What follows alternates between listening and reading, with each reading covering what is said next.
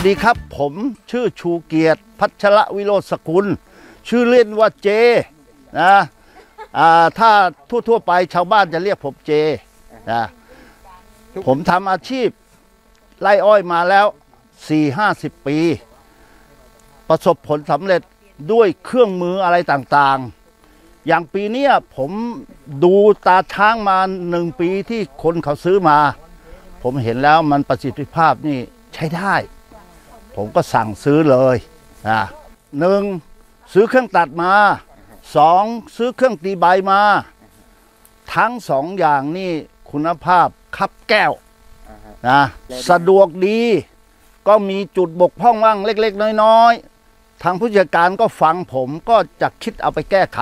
เพื่อให้คุณภาพดีขึ้นนะก็มาหาเราเราก็ พยายามบอกว่า เอ๊ะผมไปดูไอ้ตาช้างมาจากสองที่ แล้วผมก็บอกว่า เอ๊ะคุณภาพตัวนี้น่าใช้ได้นะก็เห็นคุณภาพดีอย่างนี้ ผมก็สั่งซื้อเลย สั่งซื้อโดยที่ยังโรงงานยังไม่เปิด ผมเตรียมมามากองเอาไว้ เพื่อที่จะให้เครื่องตัวนี้มาได้ใช้กับทันเวลาของเรา ผู้จัดการก็ให้บอกว่า เอาลองเลย ถ้าไม่ดีไม่ต้องเอาไว้ พอลองแค่ล่องเดียวเทั้งนั้นแหละเราเห็นคุณภาพ ผมซื้อเลย ซื้อทันทีเลย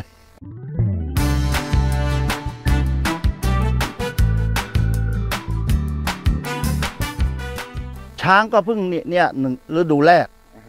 ต่อไปก็คงจะใช้ไปจนจนตลอดกาลอะนะอ่าไม่มีปัญหาอะไร ปัญหาเล็กๆ น้อยๆ เราก็แก้เอา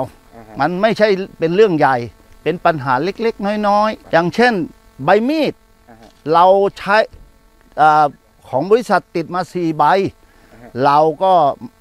มาลองดูว่า เอ๊ะมันตัดสองใบมันเป็นไง ถ้าสองใบนี่มันทำให้พลิ้วขึ้น เบาขึ้น ตัดได้เร็วขึ้น แล้วรถก็ไม่ไม่ไม่ไม่หนักไม่ไม่ไม่หนืดทำให้ได้ร้อยเปอร์เซ็นต์เต็มเต็มๆ อย่างนี้ไม่ใช่ว่าความสุข มันสุขเกินสุข มันมีความสำเร็จสำเร็จในการตัดอ้อยอ่าเรียกว่าเป็นเครื่องมือที่พัฒนาทำให้เราอ่าตัดอ้อยได้ทันกับเวลา ไม่ต้องไปง้อคนงาน นี่คือหัวใจใหญ่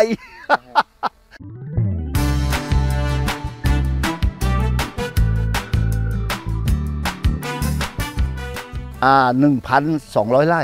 อ๋อ ตอนนี้เหลือสิบเก้าคนเองจากเดิมอะห้าหกสิบคนเวลานี้ลดไปเจ็ดสิบเปอร์เซ็นเหลือยี่สิบเปอร์เซ็นเหลือสิบเก้าคนเอง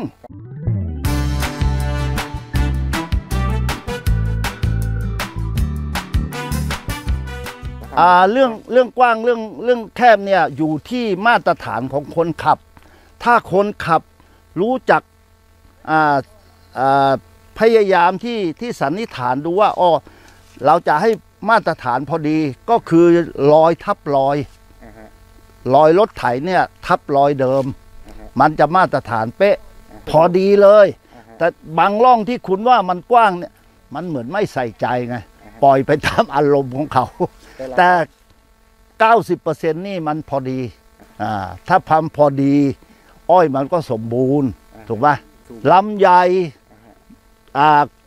อ่าอ้อยกอมีมีมีมีอ้อยลำสมบูรณ์มากขึ้น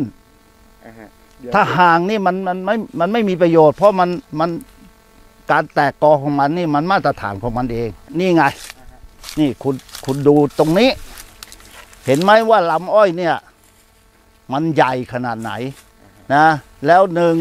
สอง สามสี่ห้าหกเจ็ดแปดเก้าสิบลำขึ้นไป มีเป็นสิบลำต่อหนึ่งกอหนึ่งปลูกให้ทันกับเวลานะถึงเวลาปลูกแล้วก็เดือนที่ปลูกดีที่สุดก็คือ เลิกจากหรือปลูกข้ามแล้ง หรือถ้าเรานั่นเสร็จแล้วตัดอ้อยเสร็จในเดือนเมษานี้ก็ปลูกเลยอ่าใช้ระบบน้ำหยอดลงไป เพราะเดี๋ยวมันรับกับหน้าฝน มันก็ขึ้นมาทันทีเลย แล้วก็เจริญเติบโตได้ดี ถ้าคุณไปปลูกเอามีน้ำอ่าอ่าเมษพฤษภามิถุนาไปเนี่ยอ้อยมันก็จะสั้นลงสั้นลงอ่าฮะนะไอ้ถ้าปลูกในเดือนตั้งในเมษาพฤษภาสองเดือนนี้คุณปลูกให้ให้จบ อ้อยเนี่ยมันจะมาตรฐานร่องอ้อยนี่มาตรฐานที่สุดคือหนึ่งเม็ดห้าสิบเซนจาก ระหว่างแถวระหว่างแถวอ่าฮะหนึ่งเม็ดห้าสิบเซนทำให้อ้อยโตใหญ่ลำดีก็แล้วต้องใส่ปุ๋ยให้ตามตามกำหนดนะขั้นแรกก็ลองก้นหลุมครั้งหนึ่ง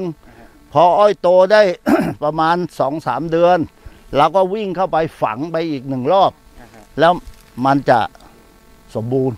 เม็ดห้าสิบขึ้นไปเนี่ย มันจะมันจะทุกอย่างอ่าลดตีใบ ลดตัดมันจะเข้าไปได้จังหวะพอดีของมันเลย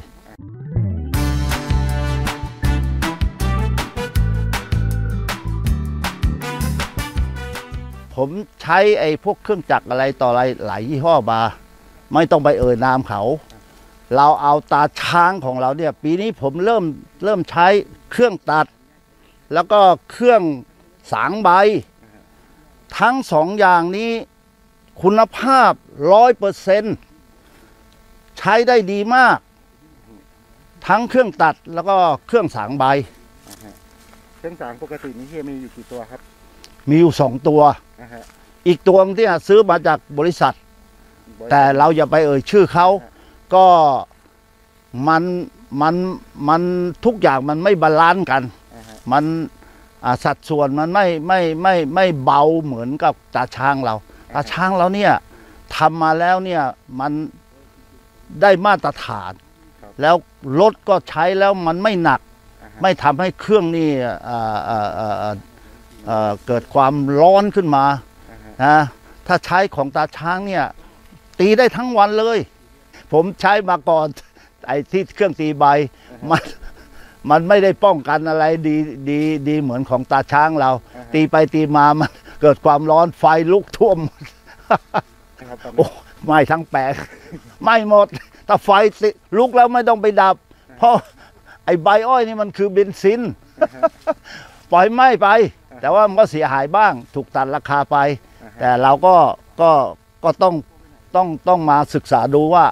เครื่องอะไรที่มันมันมันดีที่สุด อย่างนี้เนี่ยของตาช้างเราเนี่ยใช้แล้วไม่มีปัญหาอ่าฮะนะอ่าก็ ทั้งเครื่องตีใบเครื่องตัด ดีดีร้อยเปอร์เซ็นทั้งสองอย่าง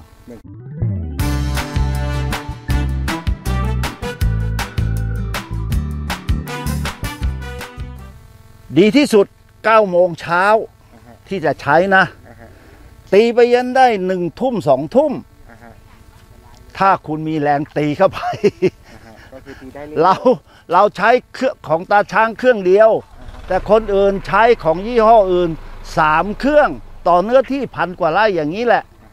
เราใช้เครื่องเดียวของตาช้าง เอาอยู่ คุณไม่ไม่เชื่อให้บริษัทเขาเอาไปให้คุณลอง แต่ถ้าคุณเห็นดีซื้อเลย แต่ผมรับประกันได้ ว่าตาช้างเนี่ย ดีแน่ ๆ ไม่ดีผมใช้มาหลายเดือนแล้วเนี่ย